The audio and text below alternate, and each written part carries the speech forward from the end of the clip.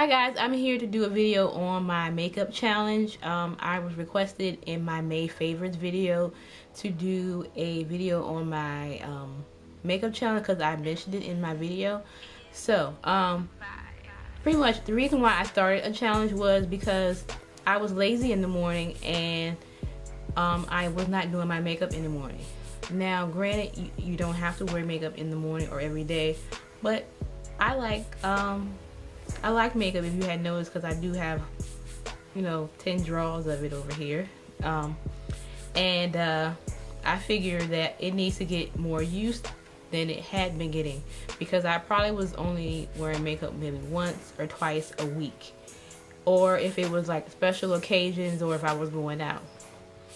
And makeup has an expiration date. And I have you know quite a collection of makeup and I need to so, use it. My makeup challenge for myself was to wear makeup three to five days a week.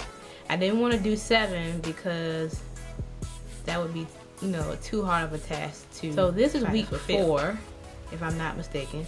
So um, I wore makeup. Today's Monday, so I wore makeup today, and I wore makeup um, yesterday. Now, granted, I'm not going anywhere today. Um, well, actually, I am going somewhere really quick, but other than that, um, yeah. So pretty much, I do generally wear makeup five days a week, which is, I mean, I wear makeup to work five days a week. So that's when I wear makeup. On and then like on my days off, which now my days off is Monday and Friday. Um, I generally don't wear makeup because I feel like I just need to let my face breathe a couple of days.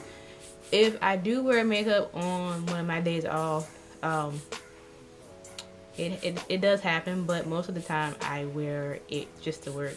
And then on my days off, I just so mainly the um, makeup challenge is for my was for myself, and um, since I mentioned it, I figured that I would share it with you guys because I'm sure there are other I'm sure that you're not, I'm not the only one who was lazy in the morning and then do So makeup. that's pretty much my makeup challenge. I also did do a video on um, my makeup um, organizer that I got so that I can have my makeup more organized and so that I could see everything on a regular basis. So I did do a video on that and I will link that in the video up here and I will also put it in the description box so that you can see it if you're on mobile. And so that's pretty much my video and thank you guys for watching and I will see you on the next video.